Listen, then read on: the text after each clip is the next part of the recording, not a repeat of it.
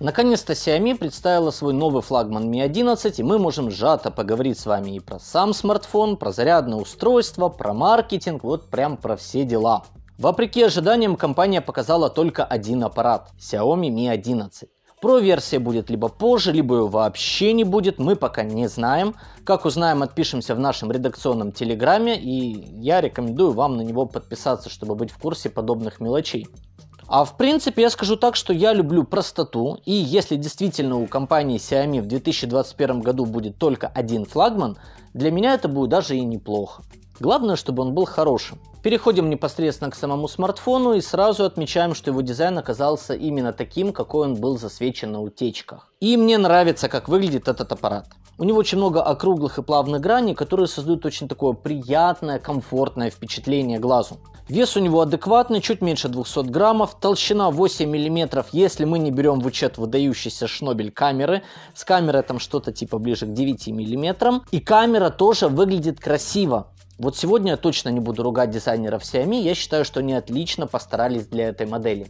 Когда мы смотрим на этот смартфон издалека, то мы видим кружок только основного 108 мегапиксельного объектива, а вспомогательные объективы, они как бы остаются в тени. И это уменьшает количество визуальных акцентов, и поэтому смартфон смотрится цельно. То есть реально не стыдно смартфон получается, который можно достать из кармана, и все такие «Оу, а что это?»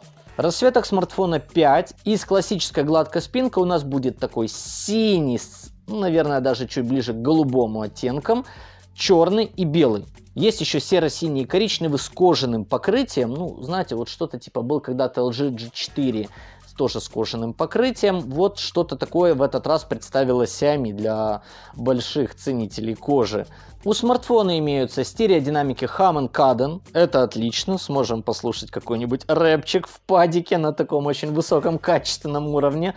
А, да и не только рэпчик, потому что реально динамики должны быть очень хорошими, и в принципе я бы хотел увидеть в этом смартфоне и качественные низкие, и качественные высокие частоты, не только средний диапазон. Я надеюсь, что Xiaomi реально здесь порадует. Экран получился большой и яркий, вытянутый, 6,81 дюйма по диагонали, матрица AMOLED, разрешение 2К, имеется поддержка цветовой палитры HDR10+, короче, ну все просто по высшему стандарту с экраном.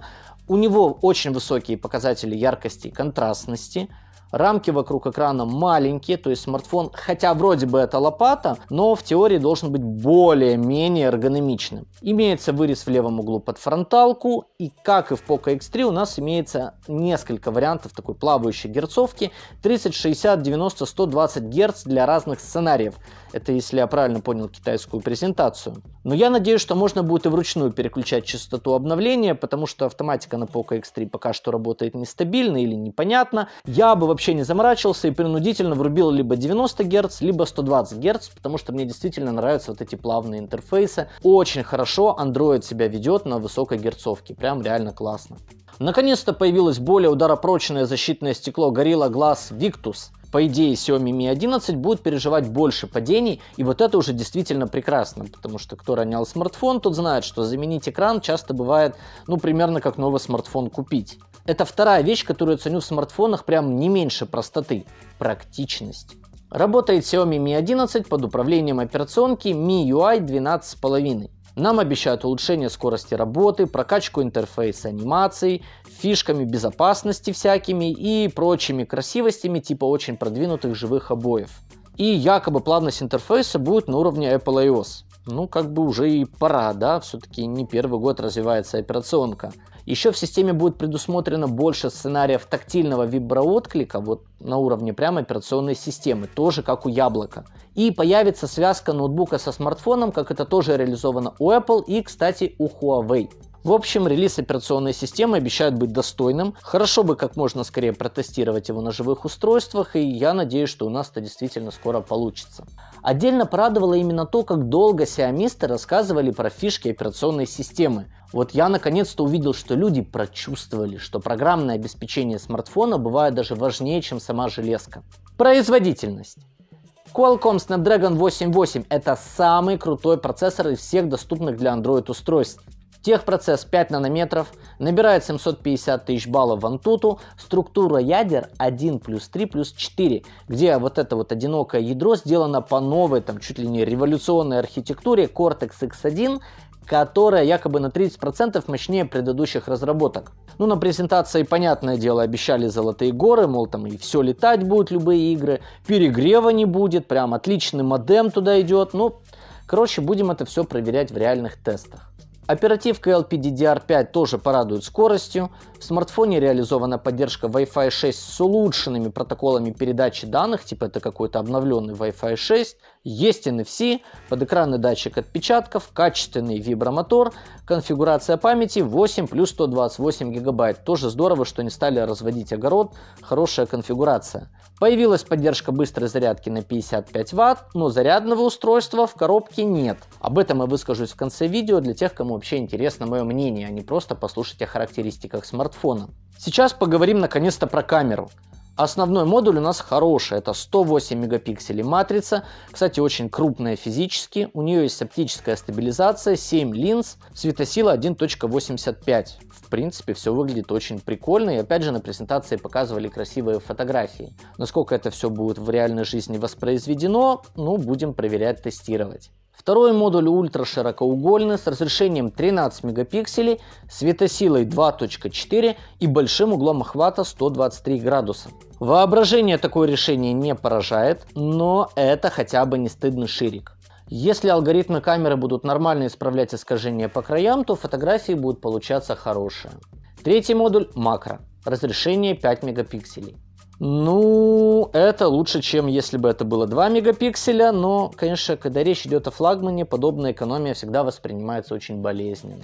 И на этом модули закончились. То есть, скажем прямо, камера получилась прям не супер-пупер топ. Наверное, основной модуль будет радовать, может быть, будет неплохой ширик, надо тестировать, но в целом, в целом, конечно, бывает интереснее набор модулей. Однако при этом в смартфоне появились новые режимы съемки фото и видео, и, наверное, софт в каком-то смысле даже интересует больше аппаратных характеристик. Потому что реально интересно, что там Xiaomi накрутили, уже давно не было топового Xiaomi у меня в руках. Я надеюсь, что на Mi 11 мы это все проверим. С сильным акцентом именно на программное обеспечение и мощность процессора. Ну и в теории он должен хорошо переживать житейские неурядицы и долго радовать хозяев спокойной работой. Сколько это может стоить? Xiaomi решили, что это счастье будет стоить 4000 китайских юаней, это примерно чуть больше, чем 600 долларов. Ну, в целом, это адекватная цена за топовый Snapdragon, которому прилагается нормальный софт и хороший технологический обвяз вокруг всего этого процессора. Вот все эти динамики, NFC, там качественная вибра и такое прочее, это все тоже стоит денег. Но при этом ничего сверхкрутого в смартфоне нет. Это просто очередной флагман Xiaomi с небольшими улучшениями, если смотреть на предыдущие модели. И уже понятно, что на камере в смартфоне экономили намеренно, потому что флагманские процессоры Snapdragon стоят дорого, и чтобы это компенсировать себестоимости, пришлось как-то немножечко умерить аппетиты по камере и сделать такой нормальный адекватный ценник в 600 баксов. Ну, как бы и получилось в итоге, что явных недостатков нет, все тренды на месте, и принципе, в принципе интересно. Теперь мое мнение по поводу зарядки и вообще того, что происходит с флагманами Xiaomi. С зарядным устройством происходит какое-то однозначное жлобство. Я не понимаю, кто вообще решил, что у нас дома прям вот чересчур много зарядных устройств. Я обзорщик, у меня куча девайсов на тестах постоянно. К ним постоянно куча зарядок приходит, и мне все равно их не хватает. Уже все зарядные устройства дома давно пределе, включая даже старые блоки от давно умерших аппаратов я все равно чувствую нехватку зарядок. Если я сейчас пойду и куплю себе смартфон без зарядного устройства, у меня реально будут проблемы. Мне придется реально морщить лоб и думать, где его взять или, например, его докупить. И во-вторых, я в принципе не понимаю, как вообще считается эффективность уменьшения углеродного следа в атмосфере от подобной экономии. Это какой-то очень странный маркетинг, который происходит за наш с вами счет. Нам рассказывают сказки вот, вот эти вот про зеленые технологии, а реально выигрывает по деньгам именно Xiaomi, потому что у нее снижается себестоимость производства смартфона и уменьшается коробка, значит, что их можно больше там забузовать в какой-нибудь контейнер, улучшается логистика, удешевляется, понимаете? И получается, что как бы Xiaomi выигрыше, якобы выигрыше наша природа, а мы начинаем думать, чем нам заряжать наш новый замечательный смартфон. Ну, короче, это очень странное решение. Ну и в целом по поводу флагманов Xiaomi. Мы видим сейчас, что снова компания представила очередной крутой смартфон. Красивый, скорее всего удобный. Действительно, в целом он мне понравился и лучше вроде бы не придумаешь, но в следующем сентябре нам покажут Xiaomi Mi 11T. Сразу же сегодняшняя новинка станет никому не нужной, старой, неинтересной и все. Процессор опять же в Xiaomi Mi 11 топовый, просто предел мечтаний, однако в 2021 году явно Qualcomm выпустит еще более крутой процессор. Ради эксперимента мы на канале пропустили этой осенью выход предыдущего поколения флагмана Xiaomi Mi 10T. И знаете, вот я бы не сказал, что это прям кто-то заметил. Слишком много флагмана выпускает Xiaomi. Поэтому эмоции от сегодняшнего релиза тоже получились какие-то смешанные. Я повторю, что что-то такое в смартфоне есть, что-то меня в нем положительно зацепило. Я хочу получить его на обзор, я надеюсь, это получится.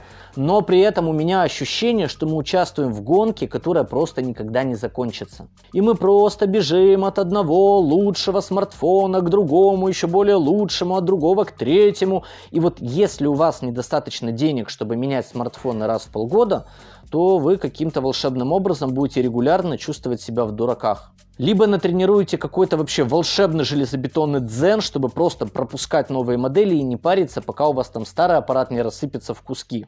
И кто тогда будет смотреть мой канал?